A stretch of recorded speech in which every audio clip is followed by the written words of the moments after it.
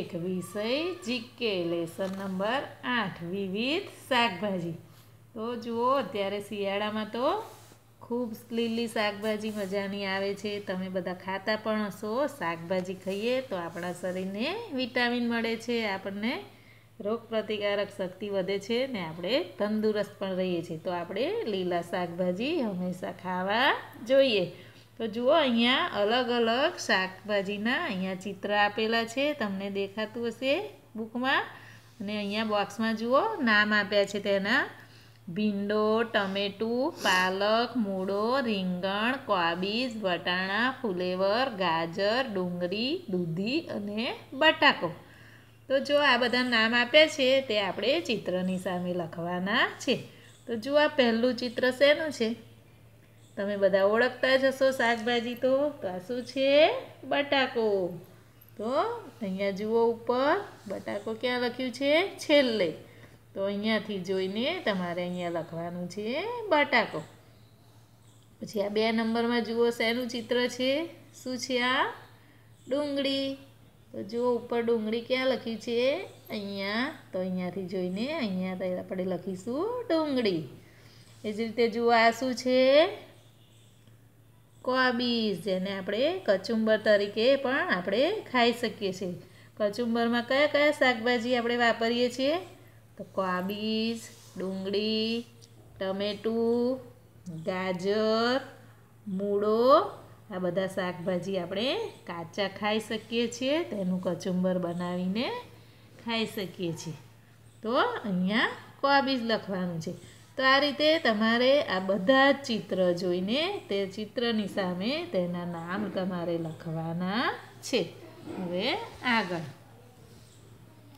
જુઓ, અહીંયા લખ્યું છે કે બોક્સમાંથી યોગ્ય શબ્દ પસંદ કરી મને ઓળખી મારું નામ લખો. જુઓ, અહીંયા નામ આપ્યા છે. ટમેટું, ગાજર, મૂળો, બટાકો, રીંગણ, પાલક, ડુંગળી અને ભીંડો.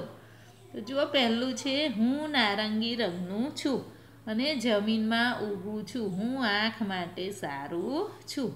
તો નારંગી રંગનું અહીંયા ઉપર નામ આપ્યા છે એમાં. શેનો રંગ નારંગી જેવો હોય છે અને જે જમીનની અંદર થાય છે. શું આવશે આમાંથી? ગાજર. તો આપણે અહીંયા લખીશું ગાજર. પછી બે નંબરમાં છે કે હું બાફી તથા શેકી શકાવ છું. અને તમે મારી વેફર હોંશે હોંશે ખાઓ છો. તો વેફર શેની બને છે? બટાકાની. જે તમે બધા ખાતા જશો. તો બટાકાને આપણે બાફીને પણ ખાઈ શકીએ છીએ અને શેકીને પણ ખાઈ શકીએ છીએ. અને એની આપણે વેફર પણ બનાવીએ છીએ. તો અહીંયા આવશે બટાકો.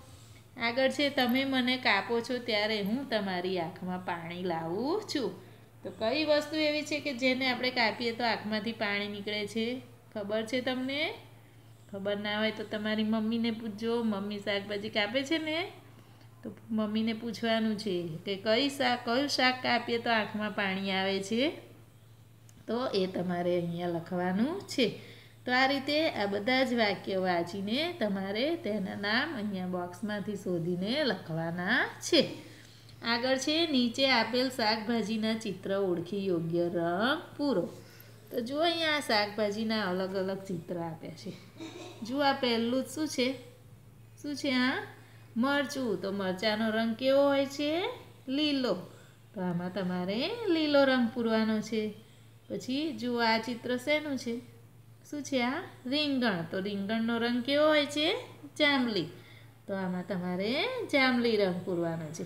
તો આ રીતે તમારે આ બધા ચિત્ર ઓળખીને તેમાં તે શાકભાજી કેવા રંગનું હોય છે તે પ્રમાણે રંગ પૂરવાના છે. Thank you